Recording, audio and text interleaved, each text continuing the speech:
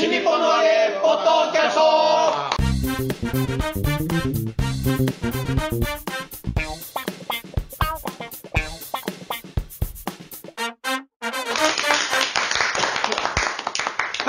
様、こんにちは。新日本の揚げポッドキャストの時間がやってまいりました。はいやってました霊霊者マルコでございます。広瀬和夫プロデュース、こちらマルコ満喫新日本の揚げという落語会を不定期で成城ホールで行っております。その宣伝のためにやっております。このポッドキャストでございますが、まずは私が霊霊者マルコ、そして、新内、本当におめでとう。立川こちらです。なんか今言われちゃった。はい。そうかな満喫ですあれ？我々のプロデューサーがこちら。新内おめでとうございます。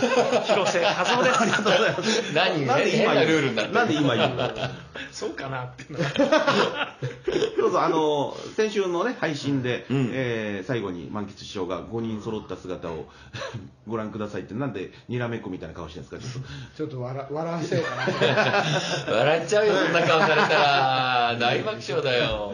もう向こう向こうから笑い声が聞こえるよ聞こえちゃうね、聞こえちゃうね、聞いてる人がね。うんあのね、真打ち5人並んだ姿をご覧くださいって、ちょっと最後言いましたけど、うんあの実はこの広め中は5人揃わないんですよ。えそれぞれ鳥の日は、帰省ラッシュ、帰省しちゃう帰省ラッシュってない。なんか実家に帰っちゃうから、広め広め中だっつって U ターンだいやだから、その真打ち、鳥とその師匠が出て、で、うんえー基本はもう他の真打ちはね、うん。まあ、外で見てるだけ。うんあ、そうなんだ。えー司会の師匠はずっと一緒なんですか？司会はね、いや、変わりますよ。あ、なるほど。玉之助師匠だったり、専用師匠だったりね、うん変わりますあよ。ええーなるほどまあ、専用師匠の師匠の選挙師匠亡くなってますけどね。ええ。何言ってんですか？お前やめろよ、自分で、自分でバラそうとするの。あ、怒られたいやいやいやいやいや。何回か遡りが入ったもんでしょ、やいやいやこれ、まあ。そんなようなわけでございましてね。で、ところが、ところがですね、ところがですね、悪いやつだね、だって、自分で言ったところがですね、えー、5月の19日おのい。汗拭けよ。金曜日の、まるちゃん金曜日の夜だけ、うんえー、5人揃うんです。おう。国立。おう。何が、もう一回言って。聞いてない。聞いてないんだよもう悪口に夢中で聞いてねえんだよ他のね大事なこと聞いてねえんだもん顔しても性格悪いなすげえ嬉しそうもう。本当に笑ってるよ本当の本当の笑顔だよこれ腹の底から笑ってるもんね。すげえ楽しそうだもん人を貶める時もこの笑顔で来たらねとんでもない。本当だよね絶対前世悪魔だよね。先生悪魔って、すごいな。なんか最強な感じがする。すごいですか？すごいな、それ。すすごいな、なんか。あのね、気に入っちゃったよ気に入っちゃってんじゃないのよすごい霊的パワー持って生まれたみたいな感そうだよね。悪口が通じねえ褒め言葉になっちゃうからね、悪口が全部こっ。ちの悪口は通じねえんだよこれ割に合わねえですよこれササリーちゃんのお父さんみたいな。髪型だけじゃないですかまた可愛らしいとこ持ってきちゃったな。俺もっとサタンみたいなこと言うのかと思ったら。サリーちゃんって通じんのかな、今の若い人に。いや無理でしょうねおそ松さんでギリギリ赤塚不思議そうだね。おそ松さんをやったから今、リバイバルというかね、まあ別の アダルトなやつでね。うん書いてバカボンとか知らないでしょ？バカボンああドラマでやったから上田さん遡れば遡ればね。お？あ大丈夫です。大丈夫です。まあまあちょっと仕切り直しますけども、はいえー5月の19日の国立の夜席、お国立は昼席なんですけど、うん。はい。金曜の夜だけ夜席2回公演があるんですね。花金だから。うん、多分そうですね。うん。違う。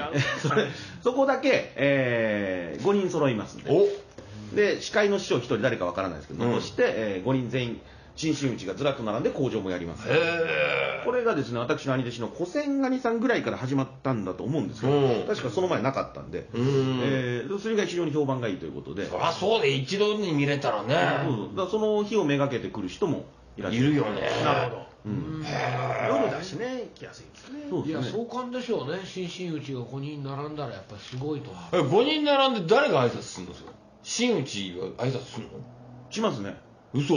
なんか俺頭上げちゃいけないって言われたよその日だけはでしょ？その日だけ。その日はいいんだ普段の工場は、うん。新真打ちはもう両手ついて頭下げたまま、もうみんなが工場行ってくださるのをただ聞いてるだけっていう、うん。だから一言も発しないんですけど、でもそうだ俺言われてたけどさ、あんまりにも段四郎師匠がひどいから「おい!」って言っちゃったら怒られた後だよ。司会から説明があるんですよ。今日は異例ですが。へえ。本来は口を聞かないもんなんですが、あのっていうふうに説明があるんですよ。特別な興行あですよ。その日だけはね。だからみんな揃って見られるなんてのはお得ですから。ねえ。いいでもあるちゃんそこでもまた大爆笑の話しちゃうんでしょ？もちろんですよ。当たり前じゃないですか。楽しみだな一番受けてるんです。ああ網のしあまた阿炎のしやんの。ちょっとちょっと今疑問が生じてますよね。なんでおかみさんが買いに行かないんだろうって。えそれ鳥誰だったんですか？鳥はおそらくひろき兄さんですね。交番で行って。ああなるほどね。はいあえ？え？多分多分そうです。あそうそうそうそうです。え？いやいやあの大丈夫ですか？自分たちで決められるんですよ。あそうなんですか？じゃあもうあるちゃん鳥やんなよ。いやいやあので深夜寄せ早朝寄せ、うん。福袋演芸場あと池袋特選会で、ん。え5人揃うっていうのをもう4回やってて、うん。で順番に取り取ったんです、うん。で私は深夜寄せで取り取って、でひろき兄さんを国立の鳥にしようってみんなで確か話し合ってたんで、だからひろき兄さん鳥ですね。大丈夫ですか、うん。またしくじらないですから。ね大丈夫ですええ。本当に。あの三味線弾きますから。え？まるちゃんが？津軽三味線。いやひろき兄さんへえ落語と三味線の二刀流でやっていきたい、でゆくゆくは菊蔵ラーメンの販売本部長になりたいって言ってましたからね。いい目標だよねだからまさかの新真打ち5人全員出て、はい。鳥が三味線を弾いて終わるっていうですね、えーちょっと変わったものが見られますんで、うん。変わりすぎてます 大丈夫ですかすごいよ。だって写真撮影会やっただけでそんなに言われるのに最後 最後鳥が三味線だけで終われる日もあるっていうのがねここが落語界の懐の深さですよ。締めるとこは締めてっていうのはねいいじゃないですか。キャラさん三味線うまいよ。面白いよ。そう三味線漫談ね三味線漫談。そう。でも落語もちゃんと一席やるんですよ、うん。やってるんですけど実に落ち着きがない落語で。で三味線を持った瞬間にね姿勢がピタッと落ち着くんです あやり慣れてるなって感じがする。そうですか、ええ。ーでまあこのね広めを無事終えて、うん。その後はね先週もいろいろみんなに問い詰められていましたが、はい。新たな霊々者マルコの旅が始まるわけですよね、そうですね、うんね。なんでそんな綺麗な言い方するの悪口以外でそんなにスムーズに出てくることあんまちゃんあの悪魔って言われたのがちょっと引っかかったのかもしれない。綺麗なとこ見せよう天使の部分見せようとしたんです多分ずうずうしいよ天使なんかもう随分もう随分頑張らないといけないこれ。そう。悪魔要素強すぎちゃうからね。いや違うのよ。今のが、うん今のが多分その悪の道につながってるセリフなるほど舌触りはいいけどそうそうそうそうそれついていくと大変なことになるやつだ。あれそっちに行きましたか？自分が導いといて。ほらそうですよ。悪いこと考えて私じゃなかったのにそうだよ。危ねえんだよあこれー行かない方がいい。新たな旅立ちだよ、まるちゃん。どうすんの？あなたの旅立ち、うん。どうするったってねこれはマルコの旅立ちといえば母を訪ねてね。ようやくそこ戻ってきた。えーまあ、名前の由来もそうですからね、うん。ああえーそうかそうか。入門した時に母親と連絡が取れない、じゃあ母を訪ねて3000人のマルコから取って、うん。でマルコっていう名前で有名になれば、えーお母さんが名乗り出てくるかもしれない、でで見習い中に名乗り出てきたんで、あの名前の意味がなくなった、早いずいぶん早いです。やめな。そのぐらいにしないと、あの、ジャスラック関係があったりするからね。配信はダメだよ配信はダメだよ。えー危ないところでしたそうですね、ね。えーいやだからこれうん？うん？よかった、止めといて。あ先輩に言われたんですけど、うん。あのー真打ちになったからといって、うん。いろいろお呼びがかかる、うん。けどなるべく開けときなさいと、おう。なぜなら寄せが使うからと、新真打ちを、あこいついいなと思ったらすぐ使うから、うん。そこで、あのールールとして10日のうち3回までは OK なんですけど休むのがね、うんえーでも3回休んじゃダメだと、うん。2日までにしときなさい、うん。だから10日のうち2日しか仕事は取るなと。うん。でなるべく開けといた方がいい、うん。でそこであの空いてます空いてますで、えー寄せが使おうかなって言った時にあ空いてますから大丈夫ですって、うん。どんどん入れてもらえるとそれが癖になって、寄せもなんか普通に入れるようになるから。へえ。でここでね。がっつり地方営業とか行っちゃうと、もう使おうかなって思うとあ休席届が出てる、うん。ああじゃあ次も使おうかなって思うとあまた休みだ、ってなるとだんだん忘れ去られちゃう。地方営業ね。それやっちゃうとね、東京でいくつか独演会とかあったとしてもねそれはえ出れるでしょうけどね、ということですよね。で売れてる人は確かに真打ちになった途端に寄せにずっと入ってたしやっぱりね、うん。そっか、予算世界はそういうところを気ぃつかないとね。そうなんですよ、今すごいお金使ったんで、このお披露目で、うん。それを回収にかかんなきゃいけないんですけど、寄せじゃ回収できないですよね。いやそれはね交通費程度ですからね。ね。えーでも体は開けといた方がいいよと。それが今後のお前のためだよっていう、でもやっぱそういうこともひっくるめてその明るい未来というかそういうつまり陽気な感じなんでしょ？やっぱり。陽気な。楽しみだなどうなるんだろうなまあそれはそうですよ。っていう気持ちの方が強いでしょもちろんもちろん。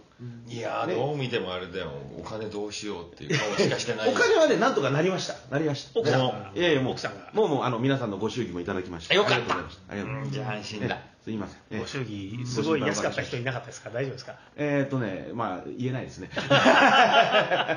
俺大丈夫だった？ありがとうございます。あよかったよかった。心配だからさいろんな人に聞いたんだけどみんな嘘言うからさ。いやいや嘘言う。そう100万とか言うんだもん。絶対違うよなこれと思って。いやいや。そんな人ありがとうございます。本当にありがとうございましたいえいえいえ大丈夫ですか？ありがとう。もう助かりました。えーまあ、でもね東京の仕事で夜とかが入ってるだけだったら昼間の寄せはいけるわけですよね。そうそうそう。あの昼夜交代とか、まあ最悪割り込みとかもできるんで、で出といた方がね。そうただマルコさんの場合は地方の仕事が多いからね大変ですね。そうそこはもう調整して、そうです。ええ。だから一応落語協会のルールで3日まで休んでいいってことになってるんですけど、ん。3日休むと当たり前じゃん。3日休むと寄せが起こるんですよ、うん。うんそれはだってもう表に出てるルールと裏で回ってるルールは別なんだからさ。そう。バカ正直にそれ聞いて3日休むバカはいないよ。小三治師匠は3日休んでますよね。もうあれはしょうがない。残り7日で客がうわっときますから、ね。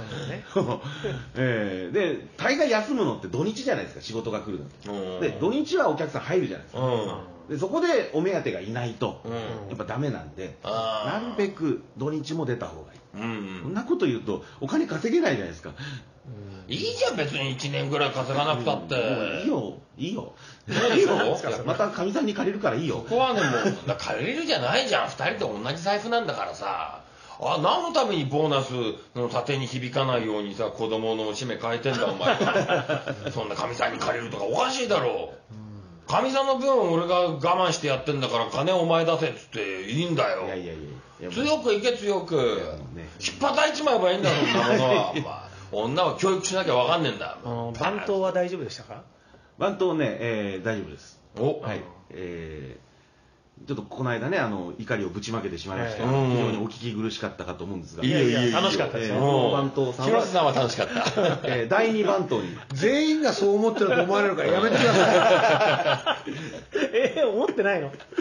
思ってるでしょ？い広瀬さん私は楽しかったですって。だって名前付きで言ってくれないと。あいや広瀬さんは外すぎるから楽しいんですよ。そうそう。こっちは、ね。ああいつがそうだったらすごい苦労するなっていうのが分かるからね。えー、俺の下に白松それ無理みたいな。それ無理それ無理。無理です。えー、あ白松君番頭無理無理無理。無理やめてください。だからそういうのでここっちは置き換えて考えられるから。だって毎日弟弟子に聞かれてる人ですよ車で。あの白く師匠が昼帯に出るのに、あの車で行くのに、あの弟子が運転して、うん。で白松君がね必ずあの「オーライオーライ」ってうん。言うらしいんですけど「オーライオーライ」って言いながら前に出てくるらしいんですよ。白松はで車はもう前に出てくるわけだからぶつかるんですって。ぶつかお互いが。ぶつかって白松気がつくっていう。ああっつって。オーライオーライ後ろに下がるのがオーライでしょ前に前が前向きなやつだからさ。すごい走りながら「オーライオーライ」ってね飛び込んでくるらしいんですよ。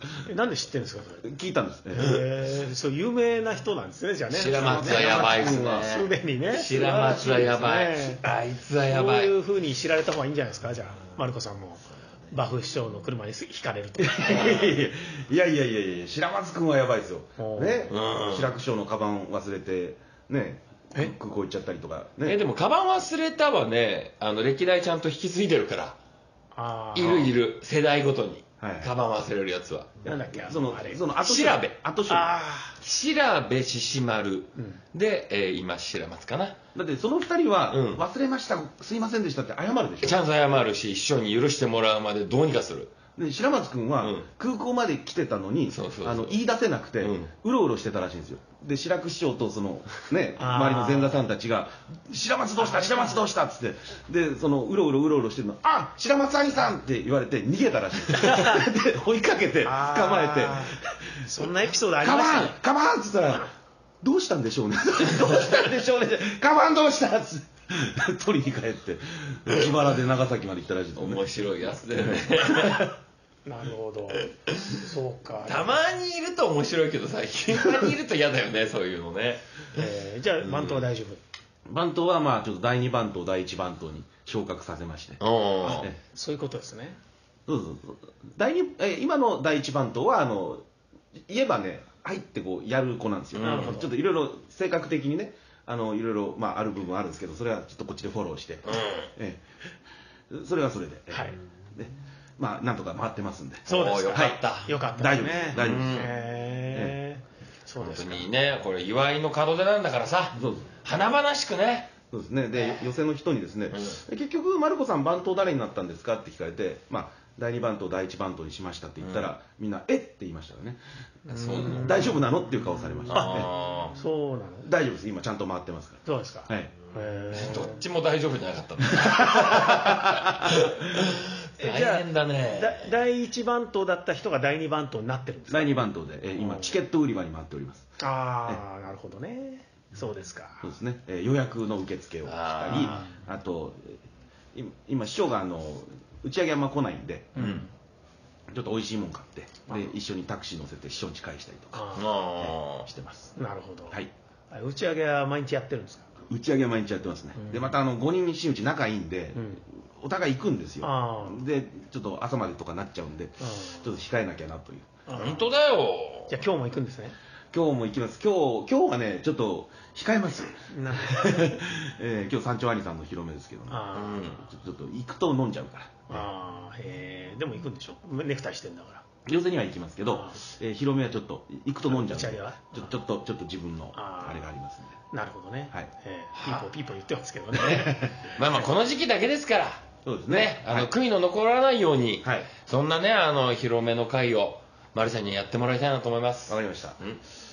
終わりですか？これ。で、うん。終わりな感じで。いやどうでしょうね。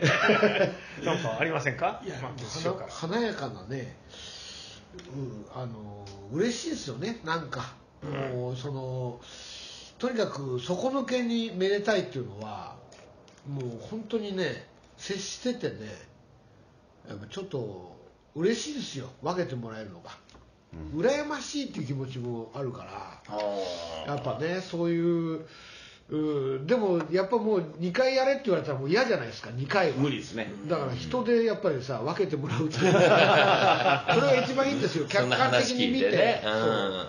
だからやっぱり自分が2回やるとなるともう絶対ねもう辛いけど、うん。人がやっぱりねその羨ましさとかをうん。こう置いといてでもとにかくもう嬉しいですね。そう楽しいみんなが祝ってくれるなんてさ。そうなんですよ。ちょっと毎回工場泣きそうになっちゃうんですけどね、うん泣いちゃっていいんだよ。いや泣くのかっこ悪いじゃないですか。何言ってんの？お前にかっこよさ誰も求めてない。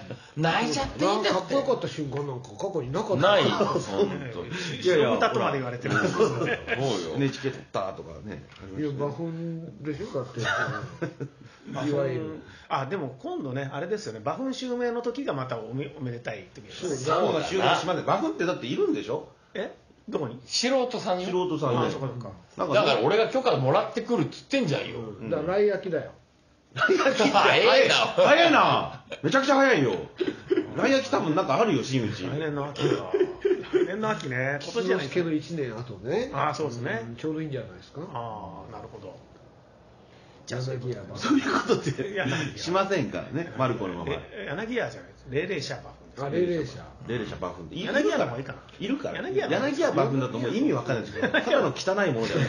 なんかでも柳家の方が古参とか。ああねそうそうそう。ね。字面がね。柳家うん古銭師匠もいるしね。そう。柳家柳家古銭柳家馬粉あなるほど らそれはやっぱり新たに考えていかなければいけないそうですねやっぱりね。ね一回仕切り直して考えた方がいいな。うん。で広めが終わり次第動き出すと早速。馬粉に向けてね馬粉プロジェクト。絶対やらないな馬粉製作委員会。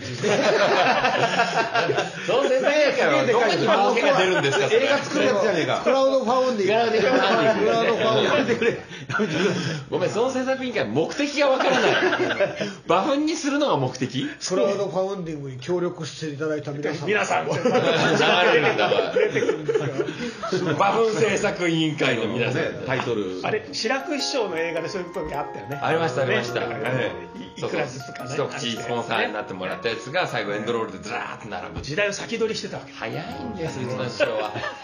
いやなりませんからなりませんから、ね、映画やめるのも早かったですね。はいはいまだやめたとは分かんないですよ。本当に？ええ。今後またあるかもしれないです。から、えーそんなようなわけでございまして、えー新日本のわけ落語会の方でございますが、6月の7日、えー19時開演で、えー私の霊霊者丸く真打ち昇進披露興行として行いたいと思っております、えー料金は3000円でございまして、えー私の師匠霊霊者馬風そして司会で三遊亭天丼師匠がゲストでございます、えーお問い合わせは東京03-3482-1313成城ホールまでお願いを申し上げます、えーそれでは。まる子ちゃんいやプロデューサーの日あそうか。ね。僕？えーそう一言締めの言葉をいたいだいて。やそのね。6月7日ですよね、はい。工場に僕も座るって言われてるんですけどね。正座ができないんでねちょっと困ったなと思ってね。でも広瀬さんだってもうすごいふかふかのソファー用意しましたよ。